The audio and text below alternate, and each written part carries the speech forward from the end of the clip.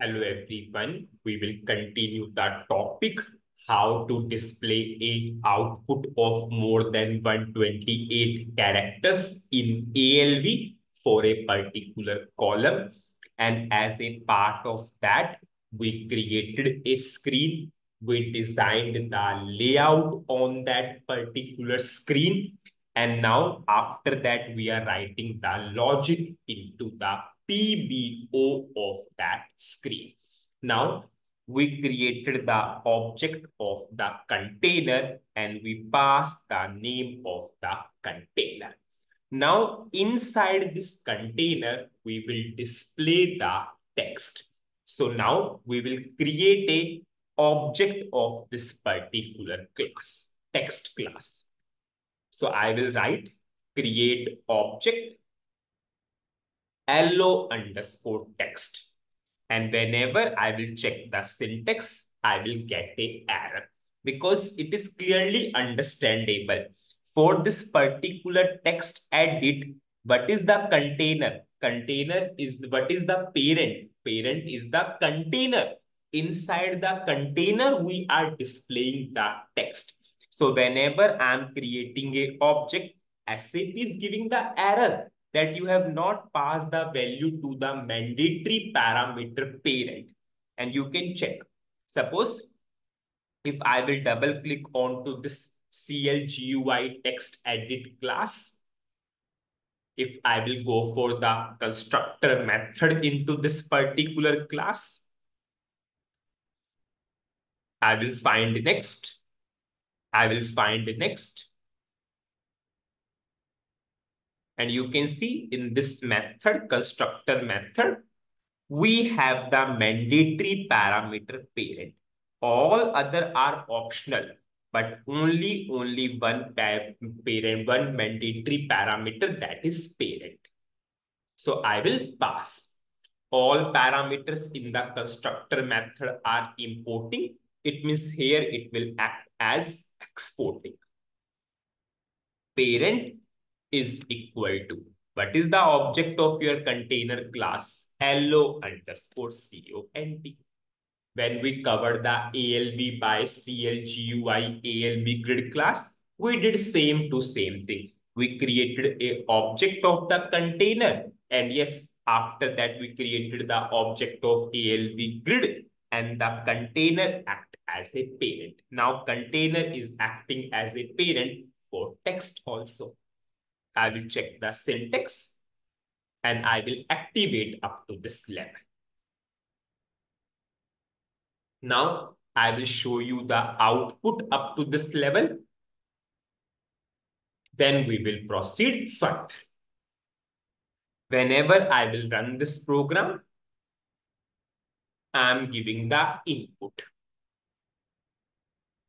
Whenever I will click here, you all know user command subroutine will call. In the user command, you are calling the screen 100. Yes, you and in the screen 100 PBO, we have written the logic.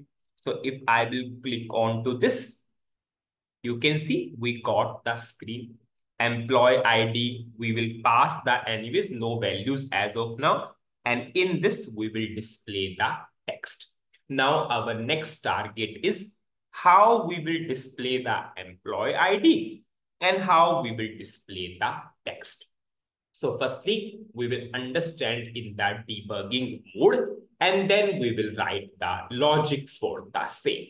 As of now, these functions will not work. You all know we created our own screen. So these functions will not work. Yes. So as of now, I will simply go to debugging mode. In one session, we will learn the debugging and in another session, we will write the logic. I will put a breakpoint in the user command. I will run this program. I'm giving suppose employee ID 125.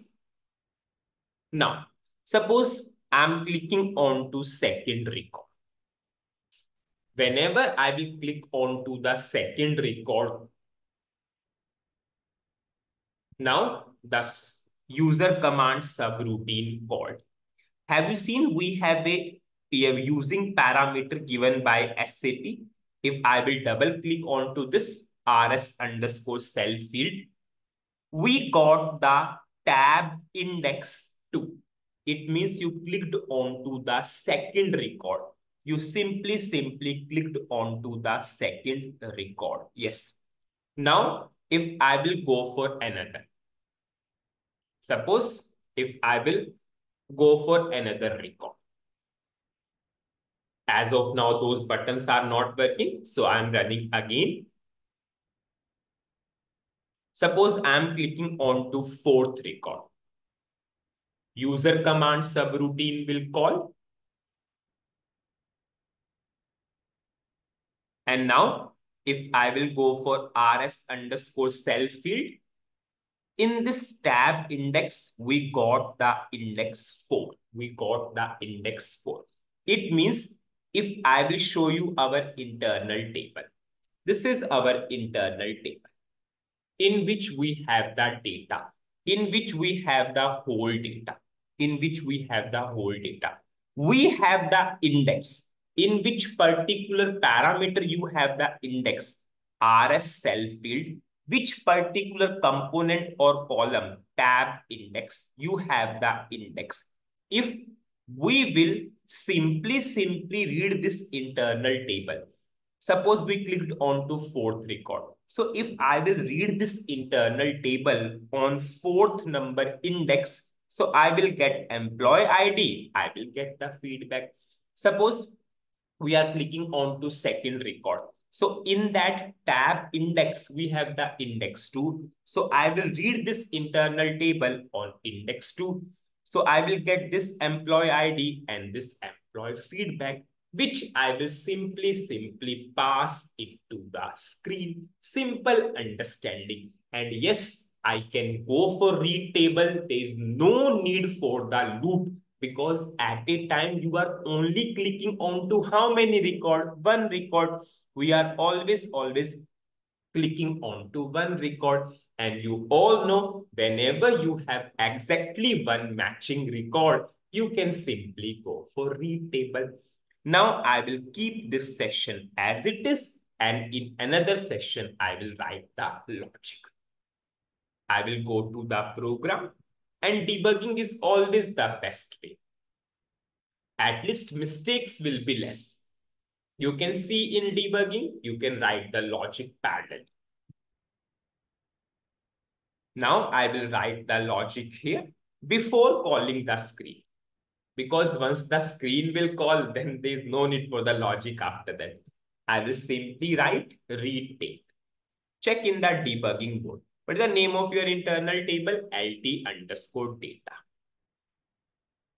Into. What is the name of work area? LWA underscore data. We are reading this internal table. What is the index? Just see. RS underscore cell field hyphen. Which particular column you are getting the index? Tab index. So we are reading this internal table on that particular index. If SY-SUBRC equal to zero, you all know after every read table, you need to check for SY-SUBRC. If SY-SUBRC equal to 0, we will call the screen 100. Now, I will check the syntax and I will activate up to this level. Now, in this work area, in this work area, we have the employee ID also. We have the employee feedback also if in this work area you have the employee ID and employee feedback, can you bind with your screen? Yes, we can bind with our screen. If I will go to the layout of the screen, but the name we gave to the employee ID, LV underscore EMP ID, if you remember. We gave LV underscore EMP ID. This is what we gave LV underscore EMP ID. And yes, inside this container, we will display the text edit. Now, in this particular container, we will display the feedback in the form of text edit. So I will go to the screen. Now we will write the logic in PBO, not in PAI because we are not going for any action. Whenever screen will come, we want the data to be there. So I will simply, simply write the logic in PBO.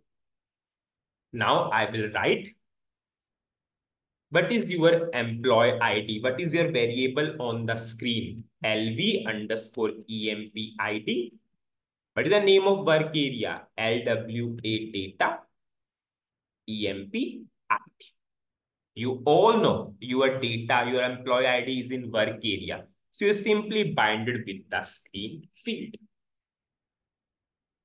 So what is the summary of this particular video? In this video, we understood in that debugging mode that whenever you are clicking onto that hotspot, in this RS selfield tab index, we are getting the index of that particular row and we read our data internal table onto that particular index. Now, in this work area, we are getting the employee ID and employee feedback. So as of now, what we did, I have written the logic in PBO to move the employee ID from the work area to the screen field. Now in the next video, how, how I will bind the feedback with this text edit, we will work on to that particular part. So that's it in this video. Thank you.